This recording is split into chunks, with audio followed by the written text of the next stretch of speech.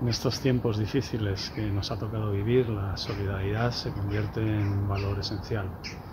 Soy Ángel Luis de Sousa, arquitecto de la Dirección General de Bellas Artes, Ministerio de Cultura, y soy el responsable de la Unidad de Emergencias y Gestión de Riesgos en el Patrimonio Cultural, una unidad creada en el año 2010 como un grupo interdisciplinar de acción inmediata cuya función principal